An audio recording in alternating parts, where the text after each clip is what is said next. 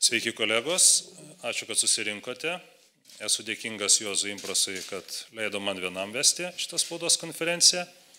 Norime kartu su Arvidu Jozaičiu ir jo santalka pristatyti bendrą santalkos ir Lietuvos centro partijos gerovės Lietuvo poziciją. Mes, tiek jie, tiek mes nuolat gaunam iš rinkėjų skambučius, elektroninius laiškus ir gatvėje žmonės užkalbina ir klausia, tai kodėl jūs atskirai, kodėl jūs ne kartu? Tai norime pranešti, kad mes pradėjome derinti pozicijas, pradėjome derinti programą, pradėjome derinti priešrinkiminius ir porinkiminius veiksmus. Tai apie tai plačiau mes abu, o pirmiausia Arvidas Juzaitis.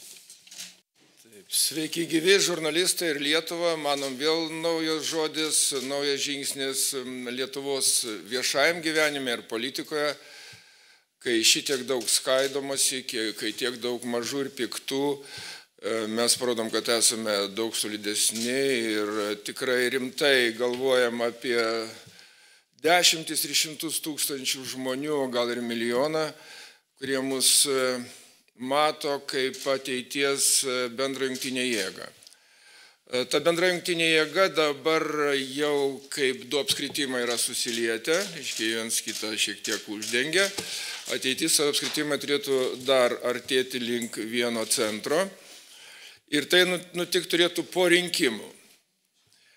Iš karto galiu pasakyti, kodėl jau dabar mes žinom, kad po rinkimų. Todėl, kad mes e, tikrai e, tikim, nebe pagrindo, matydami nuotaikas Lietuvoje ir ypač daug važinėdami, kad e, dabartinė valdanti koalicija byra, praranda autoritetą Ir apskritai Seimas kaip po toks labai praranda autoritetą. O mes ateiname su keliom idėjom, dėl kurių dabar jau apsitarėm ir po rinkimų tęsim tą darbą ir tada gali jau būti didžioji koalicija, į kurią manom vienysis ir kiti.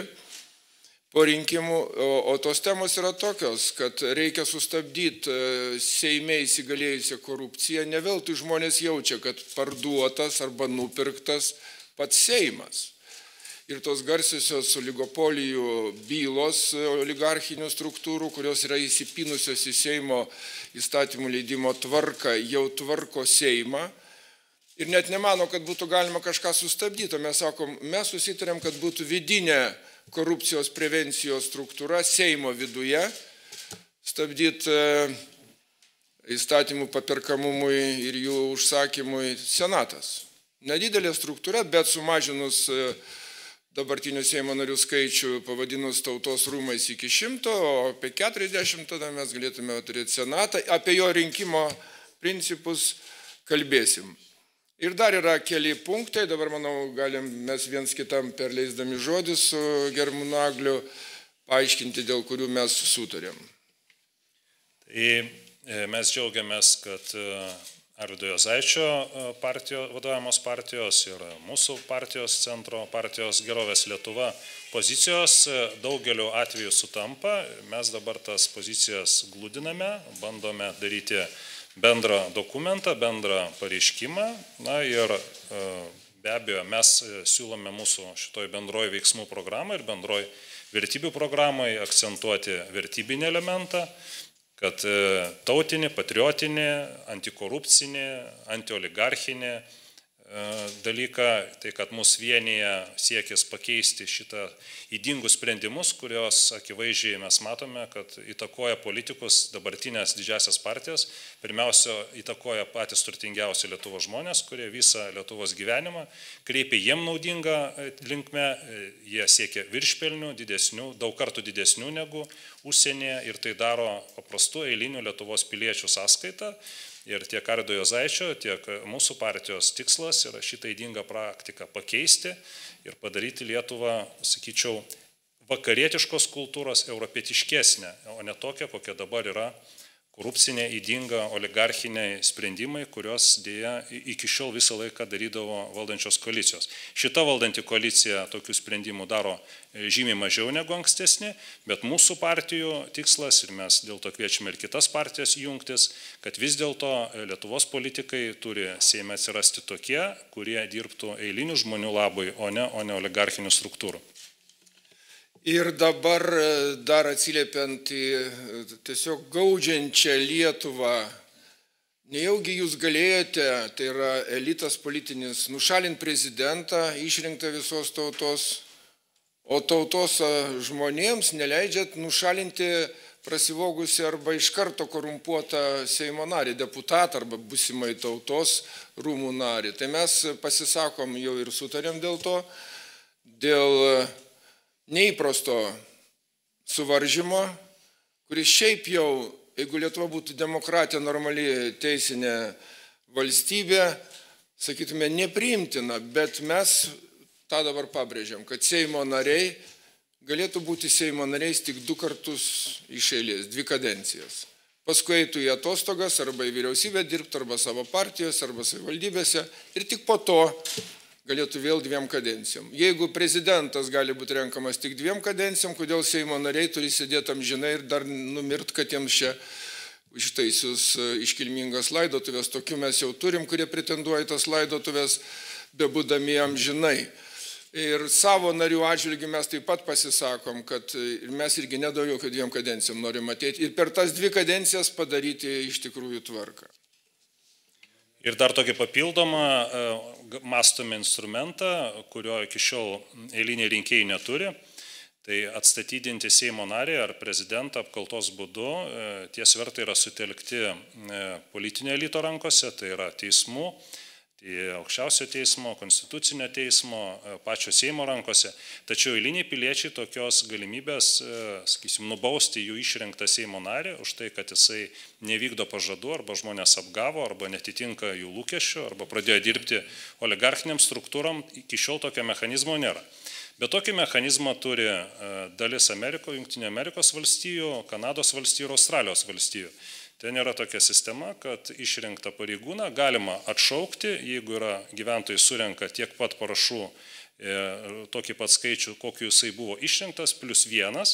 Ir tada organizuojami priešlaikiniai rinkimai ir garsiausias pasaulyje žinomas atvejis, po kurio atėjo, buvo išrinktas gubernatorium, tai aktorius, garsus aktorius Schwarzeneggeris. Tai mes galvojame, kad esant Lietuvoje tokiam didžiuliam politinio elito atotrukiui nuo eilinių piliečių, toks mechanizmas galėtų politikus drausminti ir mes tokį mechanizmą siūlysime ir dėl to mes šiuo metu esame jau sutarę su Arvido Jezaičio vadovavimo partija. Ir dar, kadangi šiuo metu tas judimas ar fermentacijos laikotarpis, daug kas kelbėsi besikūrę, kiti neturi galimybių, ieško bendražygių, tikrųjų mes matom tik vieną e, tokį judėjimo į bendrą Lietuvos gerovę, kuri dabar tokia populiari žodžiais, bet nedarbais kol kas.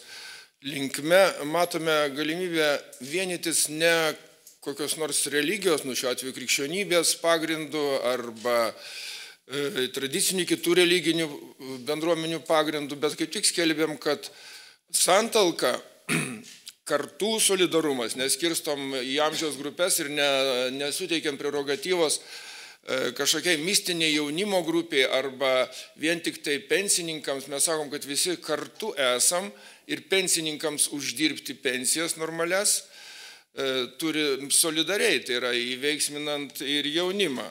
Todėl pas mus nėra ir kai mes kelbėme dabar, kad skaldimas dabar ypač į amžiaus grupės, kai sakoma, kad atidarykim jaunimui visas duris ir mes čia jam suteikim netgi neiškės ten balsavimo teises labai ankstyvam amžiui, kai dar jaunimas net savęs neišlaiko ir už nieką neatsakingas, šitam mes ne akcento neteikiam. O teikiam tik tai tam, kad nebus nei skirtumo tarp darbdavių ir dirbančiųjų, krikščionių kitatikių, jaunimo senimo. Tai bus tikra santalka Lietuvai ir, ką sako centro partija, tą sakom ir mes. Jau gavot tikrai klausimą, jo, atrodo, tai pirmai. Klausimas. Kokia abiejų partijų nuomonė dėl rinkimų į rajonų ir miestų tarybas pagal sąrašus pakeitimo į balsavimą už asmenį? Nu, centro partija Gerovės Lietuva laikosi tokios pozicijos, kad e, turi stiprėti rinkėjo galimybę atsirinkti žmogų pagal jo asmeninės pažiūras, pagal jo asmeninę veiklą ginant viešą interesą Daugybė pasaulio valstybių yra sudaromos galimybės žmogui biuletenį žymėti e, žmogų e, bet kurioje partijoje reitinguoti tiek partijos, tos partijos viršų, tiek atskirai ištraukti iš bendro partijos kandidatų sąrašo ir pažymėti jį kaip atskirą asmenį. Tokiu būdu suteikiama galimybė žmogui, pavyzdžiui, Pavyzdžiui, Latvijoje yra sistema, kad tam tikroje teritorijoje žmogus gali pažymėti penkis kandidatus į Seimo narius iš skirtingų partijų. Tai aišku, kad tokia sistema yra demokratiškesnė ir atsižvelgiant į Lietuvos realės tikrai tokia reikalinga.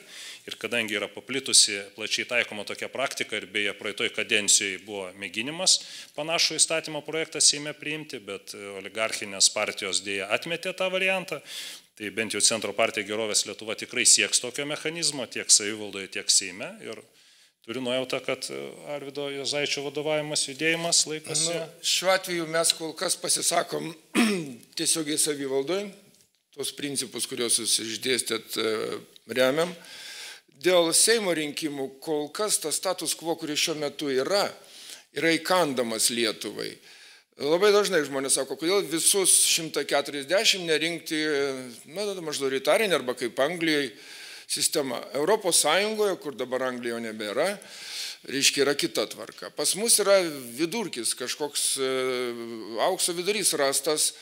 Kodėl jis dabar yra naudingas? Tada, todėl, kad mūsų laukia tas va, vidaus Seimo perstruktūravimas į tautos rūmus ir senatą, ką mes sieksime ir skatinsim ir visus agituosim ir e, sveiko proto kriterijų reikalausim.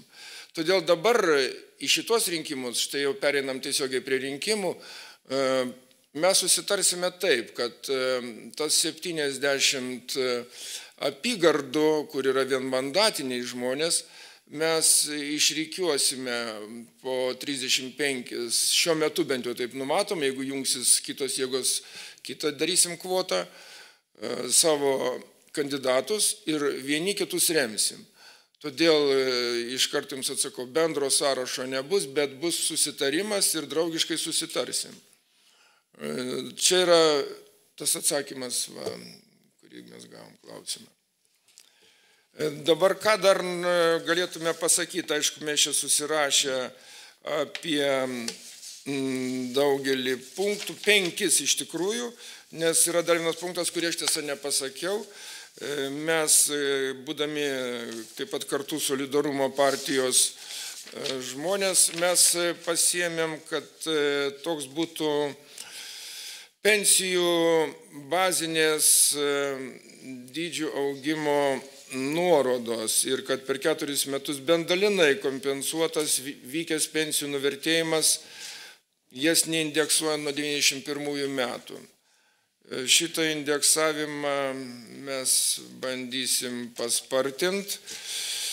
Nu, žinoma, įveiksminant tas e, struktūras, e, kurios vadinamas šeimos verslo ir smulkos vidutinio verslo. Reikia jūsų žiniai priminti, jau turbūt šitą auditoriją nekartą sakyta, nekarta pabrėžta, kad du trešdėliai biudžeto vis dėlto surenkama iš smulkaus vidutinio verslo. Ir mes sąlygas šitam verslui spartinsim. Ir dar viena, ką mes numatė, tai laipsniskai mažinti PVM tarifą pirmą būtinumą prekiams. Lietuva maistui. Lietuva yra antra nuo galo pagal maistų išleidžiamų pajamų dydį. Europoje mes tarsi daugiausiai valgantis, tai yra jokinga valgom kaip ir normaliai visi, bet daugiausiai sumokam. Štai kad tas PVM pirmojo būtinumo prekiams, duonai, sviestui, pienui ir taip toliau yra nesvietiškas, 21 procentas. Galima mažinti iki 5, iki 8, kas Lenkijoje bent jau nacionaliniai produkcijai senai padaryta. Apskritai Lenkija labai daug kur e, kreipsim dėmesį dėl socialinės tvarkos dėl apskritai tradicinės šeimos ir visko, kas Lenkijoje daro Lenkiją labai gera mums partnerė ir na, tiesiog pavyzdžių, ką Naglis dažnai pabrėžia. Aš manau, kad pats turite ką pasakyti šito klausimu. Gyventojų šeimos ūkio struktūroje Lietuvoje pirkimai maistui sudaro neproporcingai didelę dalį ir visos kaiminės valstybės, ypač ES, absoliuti dauguma taiko lengvatinį PVM tarifą maistui. nes tai yra laikoma vienu iš pagrindinių priemonių, kurios padeda mažinti pajamų ir turtinę neligybę. Nes turtingam žmogui PVM maistui neskauda, o žmogui vidutinio ar mažų pajamų tai labai skauda. Tai šiuo atveju mūsų pozicijos iš tikrųjų visiškai sutampa ir kaip Ardas Jozaitis minėjo, Lenkija yra puikus pavyzdys. Tai gal jau perinam prie... Gal dabar tikrai galime jau atsiduoti žurnalistų klausimams ir jūsų. Politinės kultūros. Mums reikia naujos politinės kultūros, kurioje partijos eidamos į rinkimus teiktų greta savo programų ir labai konkrečius įstatymų rinkinius, kuriuos registruos atėjai Seimą, kad būtų aišku atitikimas tarp pažadų ir veiksmų. Tai ar žada žadate teikti tokius rinkinius ir tada kokie būtų bent penki pirmieji įstatymai, juk mums reikia, kokie bus mokesčiai, kaip suvaldysite kainų šėlsmą, kokie bus mokytojų atlyginimai, čia yra svarbiausi dalykai. Tai be abejo teiksim, tiesiog mūsų dviejų partijų dėrybos dėl programų, dėl pagrindinių ir pirmųjų veiksmų kol kas e, yra tik pradiniai stadijoje, tai be abejo, iš esmės klausimą jūsų atsakymas tai be abejo, o konkretybės mes norėtum išdėstyti ateities spaudos konferencijos. Kadangi, atsiprašau, dar pridursiu, pas mus gana stipriai dirba tas ekonominis socialinis sektorius mūsų santalkai Lietuvai. Tai yra numatyta jau visas paketas socialinio verslo įstatymų su regioninio verslo skatinimu ir būtent šeimomis. Grįžtant į Lietuvą, šeimomis įsikuriant, šeimomis įsidarbinant tose jo ištuštėjusiose žemės ūkio verslo viskiausiose mokyklose, netgi mokyklose reikia savivaldai suteikti teises ūkiškai tvarkyti šitas, šitas mokyklas, šitos vienetus ūkinius, paveršiant juos ūkiniais. Ir tie įstatymai jau yra paruošti, jie beveik penkis metus klaidžioje pradžiai ūkio, dabar ekonomikos inovacijų ministerijoje, ateina į komitetus, vėl grįžta, į strateginį vėl grįžta. Žodžiu, mes jau turim gerą įdirbį. Prašau. Sveiki, norėčiau pas, pasitikslinti, tai jūs vienmandatėse nekonkuruosit, o kaip dėl ateities, ar jūs matot galimybę jungtis partijoms? Mes ką tik tai pasakėm, kad konkurencija bus labai draugiška, tai yra viens kito palaikymas, pasidalinant apygardas. Ir kadangi mes, pagalvokite, jeigu po 305 įeisim į Seimą, jau didžiąją daugumą Seimo turim, bet mes realistai apie 30 vietų tai tikrai turim turėti. Ir tada tikimės, kad kaip prie stipriųjų, kaip prie magneto eina ir mažesni, ypač tie vienmandatininkai, kurie na, ir be partijų lieka. Taip kad e, viskas bus e, e, gerai, dirbsime tais punktais, kuriuos ką tik tai išdėstėm. Ir mes neveiksime taip, kaip dabar veikia ta marga, net daugiau negu Zebros koalicija, kur tik skaičiuojami balsai, o vertybinės nuostatos skiriasi iš esmės. Pas mus nesiskirstos vertybinės nuostatos ir jų pagrindų dirbsim kartu ir tai bus koalicija. Mes ieškome bendrumo ir tikimės, kad tų bendrumų bus daugiau visom prasmėm tame tarp ir dėl rinkiminės taktikos. Šiandien kol kas dar anksti e, kalbėti detalėmis, bet pagrindinis dalykas, kad bent jau visiškai aišku, kad vienmandatėse nekonkuruosiu. Galėčiau aš paklausti? Noriu paklausti. Neveikia. Kodėl neinat bendrų sąrašų, tada kokia prasmė į tą santalką ir prie ko save priskirtumėte? Prie labiau kairiųjų ar prie labiau dešiniųjų? Ačiū. Tai čia klausimas e, savo pačiai ir jums žurnalistams ir politologams. Nuspręskite, kur mes esam. Kai mūsų yra smulkaus vidutinio verslo atgaivinimas, reiškia biudžeto palaikymas dviem trešdaliais, jau tikrai ir kas čia yra kairė ir dešinė, čia gyvybingos e, jėgos. O kodėl neinam, tai todėl, kad e, jau pasakėm, kad darom naujieną Lietuvoje. Mes susitarėm dėl vertybių iš karto ir dirbsime po rinkimų dėl jų. Taip kad čia jums irgi galvos skausmas, galvokit kodėl.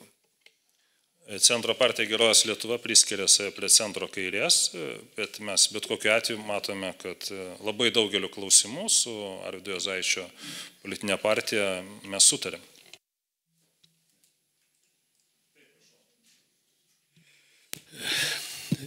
Įsivyščiusiose šalyse, gerovės valstybėse, visur yra labai aiškiai mokesčių sistema, tai yra progresiniai mokesčiai. Progresiniai mokesčiai, aišku, tai mažina atskirtį, e, padeda įsitvirtinti smulkiam ir vidutiniam verslui. Lietuva per 30 metų, nors deklaravo socialdemokratai, kad visgi prieš rinkimus įves progresinius mokesčius, dėja tas neįvyko.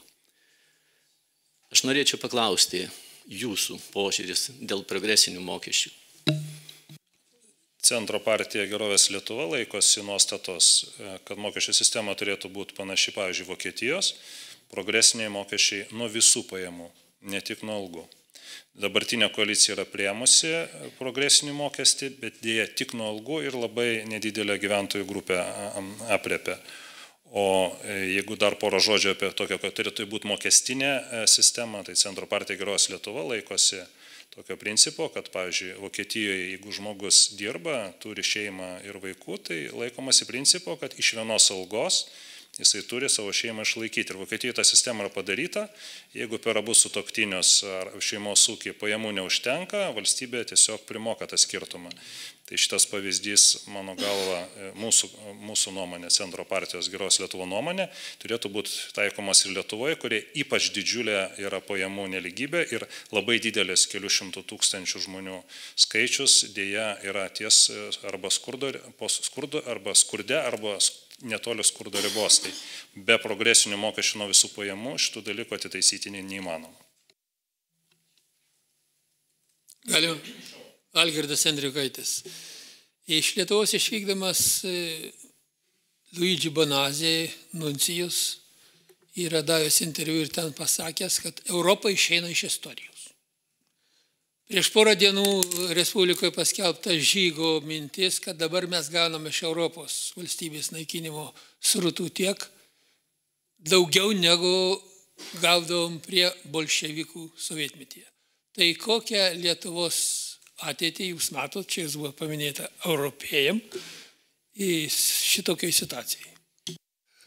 Europėjame mes į tą pradinę Europos demokratijos situacija, kuri buvo po karo, kuri buvo 60-aisiais, 70-aisiais, 7-80 metį, kai dar nebuvo užgriuvę šitą amoralumo banga, kuri praktiškai prasideda nuo 69 metų Woodstoko festivalio ir bitlų išsiskirstimo. Čia atskira kultūrologinė tema. Bet e, ką mes dabar darom? Žiūrėkit, mes darom neipatingais Europai priimtiną žingsnį. Sieksim apriboti Seimo narių, tai yra parlamento narių, deputatų kadencijų kiekį. Europoje to nėra šiuo metu, bet mes esam tikrai ant katastrofos lenkščio, o Lietuva ypatinga ant katastrofos lenkščio, kadangi 2050 metais pagal Junktinių tautų statistiką jau busim tik tai pensininkų šalis, reiškia nebegimdanti, lieka žingsnis iki kapinių. Todėl mes turim imtis ne tradicinių pagyvinimo žingsnių. Mes dabar šiuo atveju ne kaip e, šiuo metu Europai priimta, o darysime taip. Mažinsime e, įsisėdėjimo Seime ir puvimo galimybės čia. Tai štai bus mūsų vienas iš prieš Europos puvimą žingsnių. Gavom dar klausimą raštu. Ar bandysite atkurti Lietuvoje dviejų pakopų savivaldą analogišką dabartiniai savivaldai Lenkijoje ir buvusiai Lietuvoje tarpukarėje? Tai Lietuva yra vienintelė ES valstybė, kurioje yra tik vienos pakopos savivalda. E, ir tai Lietuvoje buvo padaryta 1993 metais. Tuometinė Seimo kairės ir dešinės e, e, abi pusės balsavo 93 metais, kad išrautų, panaikintų iš Lietuvos politinės sistemos tris, mano galva, pagrindinius demokratijos ramščius. Tai pirmiausia buvo panaikinti tarėjai teismuose ir iš esmės vieninteliai ES tokie pasidarėm. Buvo panaikinti progresiniai mokesčiai nuo visų pajamų. E, ir trečias žingsnis e, - smūgis Lietuvoje demokratijai buvo panaikinta vienos pakopos, žemutinės pakopos savivaldybė. Tai lietuvių politologai nuvažiavę į Varšuvą ar, ar, ar į kitą Europos sostinę sutrinka, pamatė, kad ten yra daug merų Ir yra vienas didelis meras už visą miestą ir yra daug merų. Tai yra Net miestuose yra dviejų pakopų savivalda. Jau nekalbant apie tai, kad kiekvienas lietuvis nuvažiavęs į Punską gali pamatyti Punsko tarybą renkamą nuo kelių tūkstančių gyventojų ir jis nesupranta, kad dar yra ir dar aukštesnis e, savivaldos ligmo Lenkijoje. Ir visa tai veikia, visa tai gerina politikų kokybę, nes jeigu tu nori tapti Lenkijoje parlamento nariu, tai geras tonas ir gera praktika reikalauja, kad tu pradėtum nuo Punsko e, mažosios savivaldybės tarybos savo politinę karjerą, kur žmonės patikrina, ar tu gini viešą interesą, ar tu gini korporacijų interesus. Tai e, Centro partija Gerovės Lietuva neįsivaizduoja Lietuvos be dviejų pakopų savivaldos sistemos, neįsivaizduoja Lietuvos be tarėjų teismuose ir be progresinių mokesčių nuo visų pajamų. Labai džiugu, mes visiškai pritarėm, tai šiuo atveju matot dar vienas susilietimo taškas ir tikėsimės, kad e, daugiau politinių jėgų tai pamatys ir glausis prie mūsų ir į didžiąją santalką. E, bet dabar norėčiau dar pabrėžti klausimą, kuris turbūt vyro ore. O kaip žiūrėti į žaliosius valstiečius arba į tą jau vadinamą didįjį politikos žaidėją, bet tas žaidėjas šiuo metu jau ant molinių kojų stovi. E, vienas dalykas yra atsitikęs ir, ir tai susijęs su savivalda. Žinoma, e, didiesiems monopolistams, monopoliniam žemės ūkiui visiškai nereikia kaimo. Ten reikia užsėti laukus, nupjauti ir paversti Lietuvą Kazakstanu, reiškia, vien grūdinėmis kultūromis, kurios veš į vakarus ir nuodys žemę, o gyventojų nebebus. Tai todėl, reiškia, gaivinimas provincijos ir kaimo, ir gimstamumo ten skatinimas, ir verslumo yra susijęs su šita pirmos pakopos savivalda, kuri visiškai nereikalinga valstiečiams žaliesiems. Štai tiem žaliesiems, kurie yra dabar, mums reikalingi valstiečių žalieji žmonės, jie ateina jau į mūsų gretas, kaip ir e, tvarkos ir teisingumo žmonės ateina į mūsų gretas.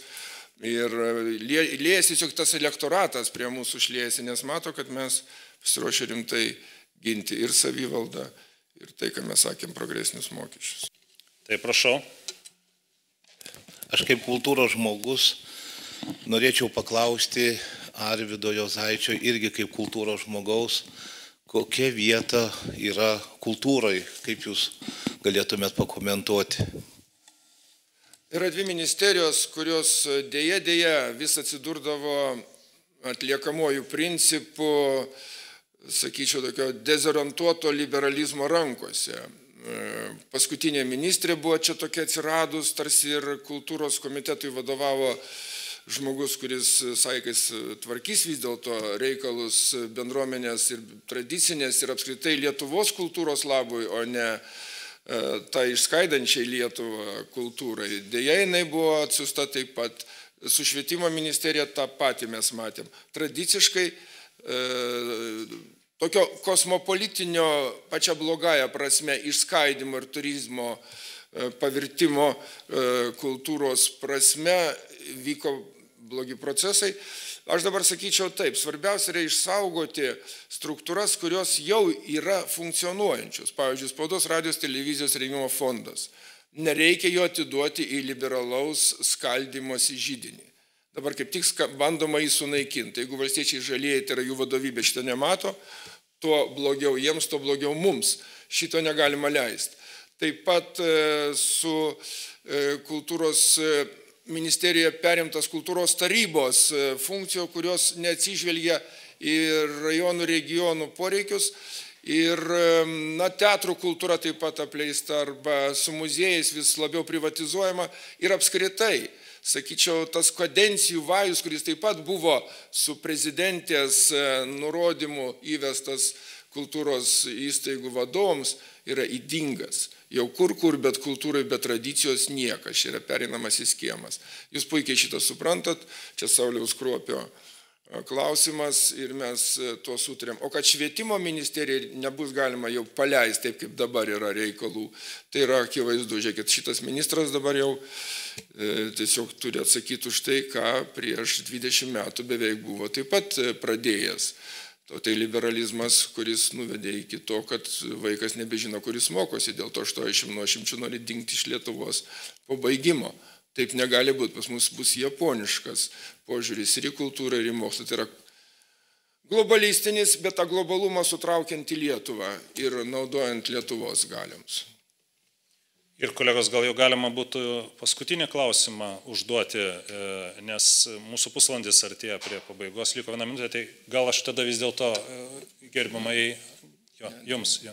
Labadiena, nacionalinė antikorupcijos asociacija, daktarė Nendrė Černiauskinė. Pataisykite mane, jeigu klystu. Pagal Seimo rinkimų knygą 2016 metais antikorupcinė Puteikio ir Krivitsko koalicija kurią sudarė Lietuvos centro partija ir Lietuvos pensininkų partija, e, surinko 77 tūkstančius balsų, turėdama 96 kandidatus ir vienmandatėse iškeldama 673 kandidatus. E, klausimai būtų tokie, šiaip mandatų gavosi ten lygiai nulis. Tai e, gerbiamas Nagliputeikė, E, kas lėmė tokius rezultatus, ar jau įvertinote, ką galėtumėte pakeisti, ką iš esmės pakeisite sekančioje programoje tam, kad laimėtumėte? Ir ką patartumėte Arvidui Jozaičiui, nes vis tik tai eina santalkoje kartu su buvusia pensininkų partija, dabar pasivadinasi kartu solidarumo partija. Ačiū. Pritrūko politinių sąjungininkų, pritruko pinigų pristatyti rinkėjam pagrindinius mūsų partijos principus. Tai dabar sąjungininkų daugėja, rinkėjų balsai stiprina mūsų, mūsų galimybę pristatyti mūsų programą ir mes mielai tais valstybės dotacijos pinigais dalinsime su sąjungininkais, siekdami kuo plačiau pristatyti mūsų vertybės, parodyti skirtybės su dabartiniam didžiosiam partijom ir sutelkti kiek įmanoma bendrą bendrą žygių būrį kartu su Aridu Jozaičiu ir kitom partijom, kurios jungsis į šitą bendrą mūsų, sakysim, priešrinkiminį veiksmų koordinavimą ir porinkiminį. Čia labai geras įrodymas, kad e, iš klaidų mokomas arba net iš visuomenės klaidų mokomas ir jai parodoma jos klaidos. Prašom, gerbimas Belzus. E, dar didžiulė bėda Lietuvoje, sakyčiau, tragedija, tai yra žiniasklaida. Galima dalinai atsakyti į gerbiamos ponios klausimą, kadangi smegenų plovimas vyksta, nu, nežinau, kapitališkai. Ypatingai nacionalinis transliuotojas. Tai yra ten dozuojama tam tikra informacija, kaip tarybiniais laikais, vieniem leidžia kalbėti, kitiem neleidžia. Todėl va, ta kryptinga dezinformacija, kuri šiandien mes girdim, lemia kartais, kad partijos, kurios tikrai galėtų laimėti rinkimus, jie nelaimi. Dėl to, kad jiems neleidžiama kalbėti, jiems neleidžiama pasirodyti ypatingai nacionalinis transliuotojas yra išlaikomas ir su mūsų pinigais, turėtų e, būtent nuomonių pluralizmą. Aš norėčiau paklausti, ką mes visgi darysime su nacionaliniu transliuotoju ir, ir aplamai kaip su žiniasklaida. O aš tik tai gal iš Angelio germas Naglis atsakytų rimčiau, nes jisai čia yra tiesiog, man rods, daug kiečių sulaužęs į tas e, žiniasklaidos ir nacionalinio transliuotojo duris. Reikalas yra toks, kad e, baugink ir laimėsi.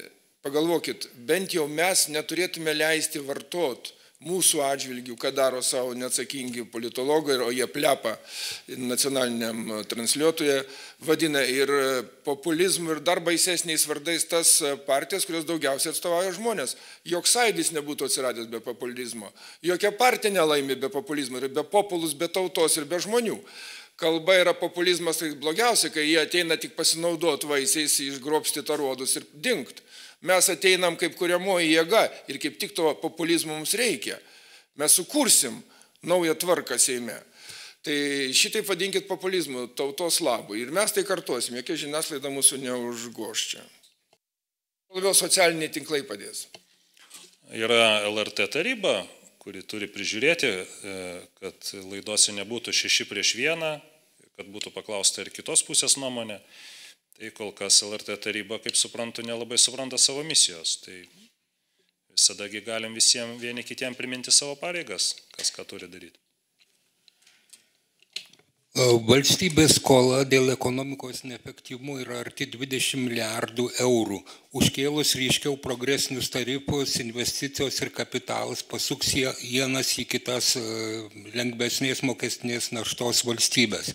Akivaizdu, kad e, optimali mokesčių sistema yra akademinės bendruomenės uždavinys ir dar labai sunki užsienio politikos problema. Tai ar žadate įtraukti į savo programas užsienio politikoje, būtent ekonominę mokestinę dimensiją, kurios taip trūksta Gedimino Kirkilo ir Juozo Bernatonio Seimo komitetam, kurie privalo tvarkyti Europos ir užsienio politiką? Genialus klausimas, į septynius sutako, bet gal į vieną atsakykim. Tai kol kas, išskyrus keletą stambių monopolininkų, niekas į užsienį iš Lietuvos verslininkų nepabėgo. Ir dėl, manau, dėl vienos priežasties, pagrindinės, verslo pelno mokestis Lietuvoje yra vienas iš pačių mažiausių Europoje. Tai kodėl mūsų verslininkai turi bėgti į užsienį ir mokėti ne tik didesnį e, pelno mokestį, bet dar ir progresinius nuo visų pajamų. Tai aš manau, kad čia yra didysis mitas, kurį sukūrė e, mūsų e, oligopolininkai, e, kurie finansuoja Laisvos rinkos institutą kaip jų rūporą, tai yra viešųjų ryšių institucija atstovaujantį pačius turtingiausius Lietuvos žmonės. Ir jie tiesiog mums kleidžia visiems dezinformaciją. Iš tikrųjų tiesa yra tokia, Pelno mokestis Lietuva yra vienas iš mažiausių, o progresiniai mokesčiai nuo algos taip pat vieni iš mažiausių, o progresinių mokesčių nuo visų pajamų tiesiog nėra. Todėl žmonės, pavyzdžiui, turintys šimtą būtų savo asmeniai nusavybei, moka simbolinį kelių šimtų eurų mokestį per metus ir visos pajamos pas juos yra neapmokestinamos. Nėra tokių valstybių pasaulyje, Lietuva yra kažkokia viena didelė offshore'inė zona patiems turtingiausiam žmonėm, o patys neturtingiausi žmonės Lietuvoje moka pačius didžiausius lyginant su jų pajamų mokesčius ir tai yra absoliutus absurdas, iš čia kyla didžiulis neteisingumo jausmas, iš čia kyla žmonėm lygos, iš čia kyla emigracija ir mes, Centro partija Gerovės Lietuva, kartu su Arvido Jozaičio partija ir kitomis partijomis šitą sistemą greusim, laužysim, civilizuosim ir darysime tokią, kokia yra, kaip minėjau, pavyzdžiui, Vokietijoje arba Lenkijoje. Ačiū visiems labai uždėmesi, čia mūsų pirmas pasirodymas, iki kito susitikimo. Ačiū visiems.